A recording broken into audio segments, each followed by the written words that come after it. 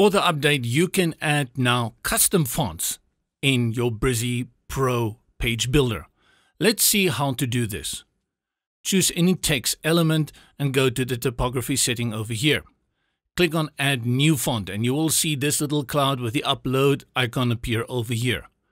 Click on it and now you'll be given the option to upload your font. First you have to give it a name and I'm going to call this Creamy Mooney. Say continue and I can choose from TTF and a number of other files.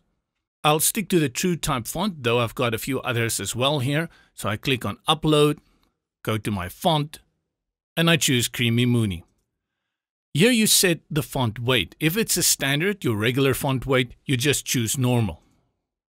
Click add font. Now you get the option to add a variation. Click on add new font if you have a variation. Let's choose here thin, and then we go to normal and we say thin and add font. Now you've got Creamy Mooney normal and Creamy Mooney thin. Continue. After you've done that and you say done, click again on your text element, go to typography, and just go and look under your fonts. You will see Creamy Mooney appears over here. Let's go and set it. Choose Creamy Mooney. And then you have your options for normal and thin. Let's keep it on normal.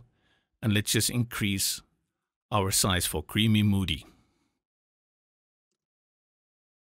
If you get tired of this font later, simply go to your typography settings, add new font, fonts, and you delete it over here.